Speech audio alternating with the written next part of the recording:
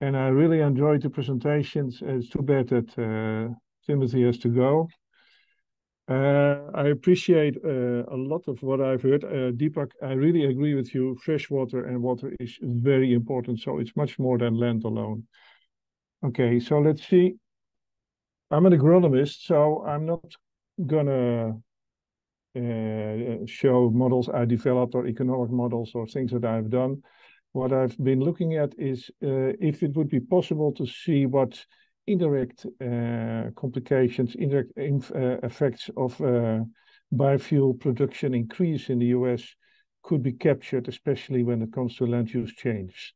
So this is a, slide presenting, let's say, uh, not the mess, but let's say the situation where we're in. There's a real lack of uh, consensus. The data and the tools are maybe well, they're not complete and they're not covering the situation to the extent that we want. So there's all kind of of of uh, issues with ILUC uh, uh, assessment, especially ILUC modeling. So that is one one question: What model would you use? And one of the answers was, I think, even uh, given by Deepak, depends on the answer that you want. So I don't want to be cynical. So I'm just going to a situation where we're going to look at let's say, a real world uh, data and uh, projections to that, and then compare the outcomes. So if we look at the framework that we're going to use today, you can see if we have a biofuel policy leading to increased biofuel production, in this case, ethanol in the US, uh, you need more crops. So we all agree on that. Uh, and we have heard a lot about crop prices. If you have a higher demand, then the price will go up. No economist will uh, disagree with that. As a consequence of the higher prices, in many cases, it's projected that there are changes in the global markets. And in this way, uh, in this case, I'm going to present it uh, very simplified that uh, assuming the, uh, the US would have higher internal crop prices, especially corn prices, then their exports would go down. So that would have a trade impact, and other countries would step into that, as Timothy said, because uh, what you do is you take a decision, hey, we can make more money because there's a higher demand. In this case, that would be leading to deforestation in Brazil. What is not really in many of the analysis is this part, and this is in blue, and this is the internal um, uh, dynamics that uh, we find in the US. Animal feed market is one because corn is mostly used for feed, but also internal changes that you could have in land use. I'm gonna uh, discuss a little bit more on that. So what are we doing? I'm going to compare basically two narratives. Uh, one saying, okay, uh, increased demand uh, is going to lead to a shock, price shocks, as I said. Capital land markets will be involved, will be affected, higher prices, have been mentioned before, and that will in the end result into uh, uh, changes in, the, let's say, the global uh, crop production and especially the land markets. So there's a difference, there's a clear distinction between products like corn in the case of the harvested area and the crop area, including the the, the forest or uh, let's say the land land cover. I'm co coming back to that. Yeah. So this is the most uh, let's say the dominant narratives, and uh, I have uh, we have named it the trade and market response narrative. So there's there's an impact in trade and markets. There's also a narrative that is more focusing on the, let's say, the technical part and the internal dynamics of, in this case, the US food and feed uh, production and use system. So that is uh, defining that we have more changes than only just the biofuel. So it's broader and there's also including preferences population. And then uh, you can see um, uh, the response is also more dynamic and it assumes, I think, a higher dynamic uh, uh, uh, dynamic character and a higher higher capacity to adjust.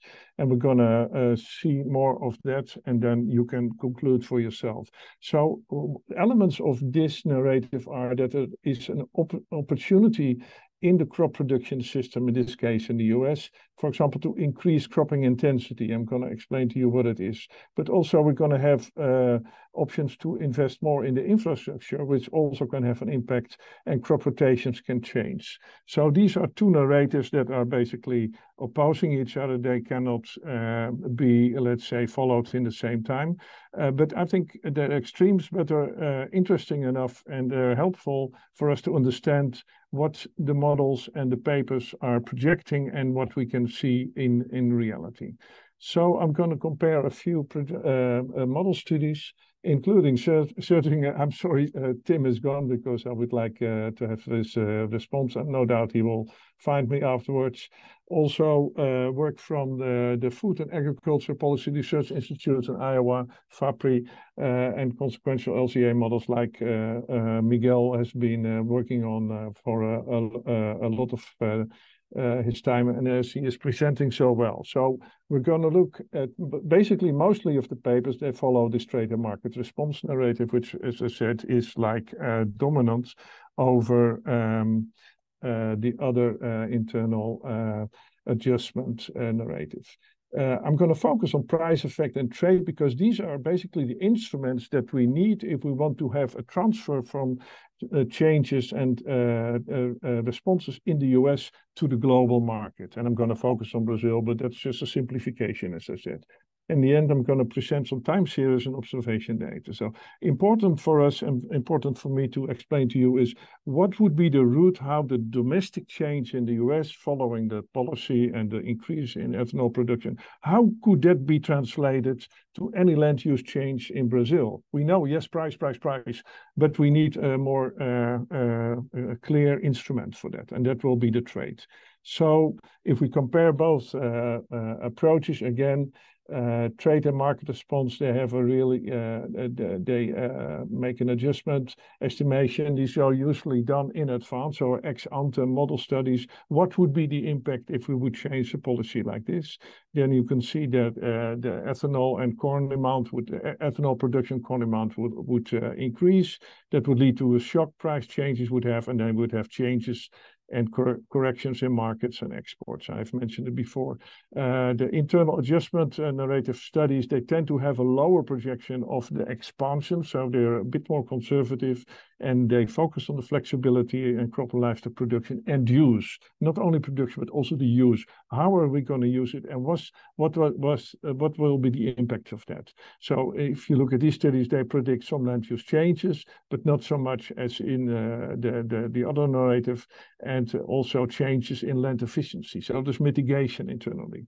What is important here is that uh, as we look at the carbon of uh, the carbon impact of biofuels, the, the, question is how does these changes, how does this story affect the carbon effects? I think we we could talk a little bit more on that.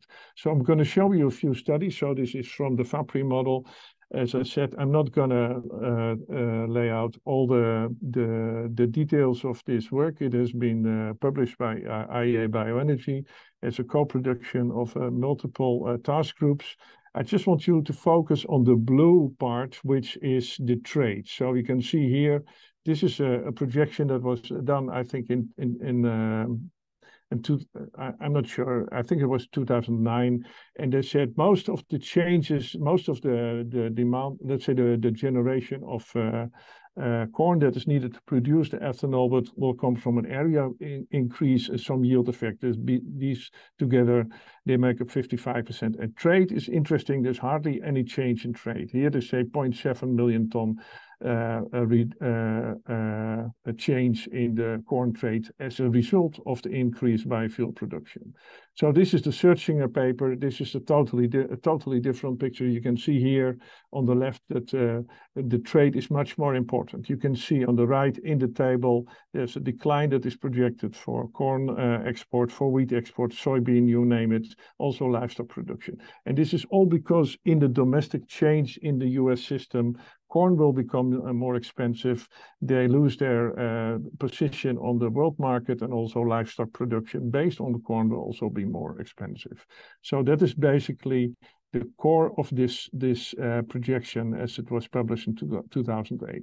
Miguel has also uh, uh, presented this work very well. You see, it's not it's not so high, but still a trade is is affected. This is another study, and uh, uh, interestingly enough, they do follow the trade market response, but they expe expect less trade effects. It's all yield. So this is also an option. You don't see this too much, uh, but it's interesting to see that there's a diversity of that. Uh, and uh, of course, this will have implications. And this is what we have seen, uh, what we see if we look at the statistics. So, as a result of the introduction of the biofuel policies in 2005, this is a 10 period window that we are evaluating, we see an increase of corn use by 92 million tons, which is basically uh, uh, similar the uh, to men, uh, most studies, Searchinger was projecting a little bit more, uh, a little bit low. So th there's a variation, but there is not so much difference. Although there's there's there still is a difference, but the most important difference is when it comes to the exports. And what we see, so what we have seen, and I will show you uh, the, the data, is that although the corn price went up, especially on the short term, as it was projected in uh, one or two of the earlier presentations. Thank you for that. It was really good to, look at that. Uh, uh, you could see some changes in the in the, the internal use of feeds. Also, you could see that the DDGS pr production output was also used to compensate for that. And as a result, the net export de decline was very very small. So although we can see that the corn production in Brazil has gone up in these same periods, there's no trade impact here. So we cannot say that the, the, the Brazilians have stepped in where the, uh, the, uh, the US uh, stepped out. Okay, this is uh, some trend lines just to show you what we see. The corn area indeed is increasing. It is quite a lot, but it's very difficult. I'm sorry, I uh, uh, flagged out the the the, the years. The, there is an, uh, a bit of increase um, uh, early after two, 2005, but on the whole, we cannot say that it is a is a permanent because it, it basically adapted to the long-term trends. So this is for corn, but when we look at the lower figure, you see that the cereal area in the US is declining. So it's going up, but it's, it's certainly not increasing, and especially not increasing to the same extent that the corn area is expanding. So this means that corn is increasing in in uh, cultivated area, but it is uh, going at partly at the extent of other crops, other cereals, that is. Here we see an overview of the prices, the price fluctuations, and the exports.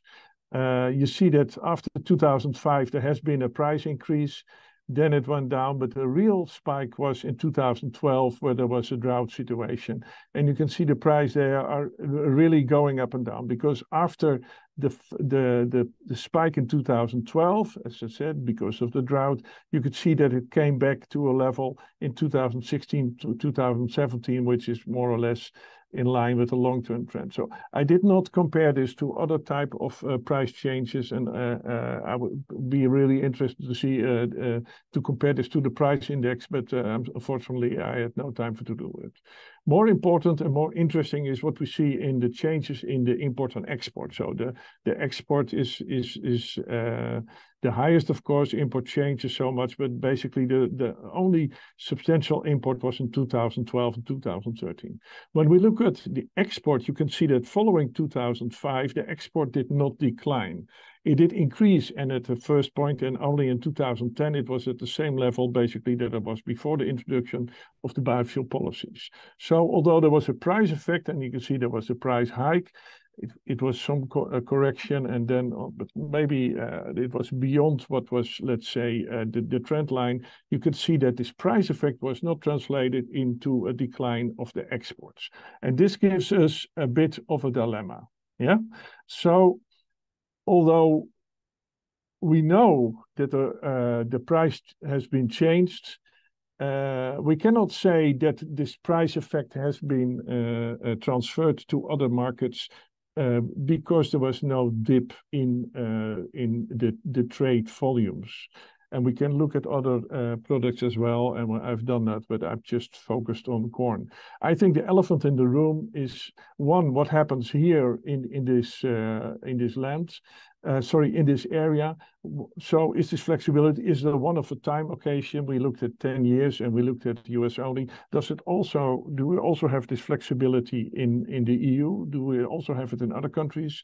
I think we do, but I did not check that. And also, I think what is more important is um, do we really understand uh, in our project, uh, let's say economic studies and it, the trade studies, do we really understand what is going on? This is one of the figures I think that has been really uh, uh helpful for me. What you see here on the on the right, you see barley, and uh, you can see that the barley average harvest in the U.S. Uh, in 2000 around 2010 is 3.9 ton per hectare. What we see is over the period that we are looking at, that barley and other soft cereals are being uh, uh, uh, replaced partly by by corn.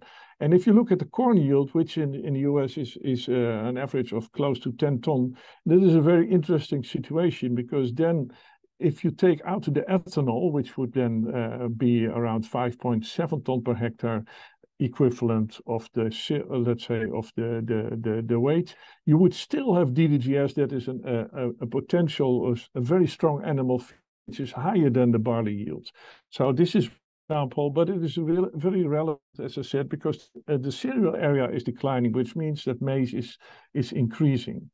It would be interesting to look at the water effects of that. I don't know that, but uh, I, as I said, I agreed with Deepak. That is, uh, I think, uh, something that is quite uh, revealing and neglected. Uh, this is uh, some old data that I took. Uh, uh, this is between 2000 2010. I think what is important here when we look at the changes in agriculture area over this period, you see that over a, a time period of 10 years, uh, there is a loss of almost 50 million hectare of agriculture area. This is uh, agriculture cover. So I, I, understand that agriculture has been uh, monitored to expand, but it's also losing area. And this is this land is going to other sectors. So when it comes to a carbon price or a carbon impact, my question is, would not the this carbon, uh, the loss that is caused by the, this land loss has to be uh, borne by other sectors rather than agriculture, because agriculture is losing to trade, sorry, to to uh, tourism, it is losing to transport, it's losing to urban areas. So basically, if we are claiming that area uh, agriculture should be uh, in some way uh, uh, attributed to the, the, the carbon loss, I think we should look beyond that because this also would be a consequential LCA uh, uh, uh, issue in, my personal uh, opinion. The second row after that is the, second row to the right is also very revealing. You see that over this period, although almost 50 million hectares were lost, this is area, the increase of cropping intensity has uh, uh, generated more than double the area. So on a, let's say, uh, uh, on a balance base, you see that the area that is available for food crops over this period has increased. It has not uh, reduced, even although almost 50 million hectares of agriculture area was lost. So agriculture has been shrinking, but the harvested area has been increasing. And you can see on the left that is quite uh, revealing. I don't have the recent data, but I think it is still there. Okay. So uh, I'll try to to bring a, a few uh, a few messages for the maybe for the discussion. The, the, the model projection that's still leading to conflict uh, conflicting results. So we uh, I think that is very clear. We got two narratives. Uh, they have contradictory findings. We have done analysis for the U.S. Uh, I would be very happy to see this for China, for example, and to or for other for other countries, other regions. So please contact me if you want to do this type of analysis. Yeah. Uh, if we look at, uh, I'm going to skip this. So there's, you can look at other uh, studies done by the IEA. Um, these are some other considerations. Uh, we have a lot of uncertainty in into the the the, the factors, and there's a tendency to use generic ILUC factors that has also been presented over here.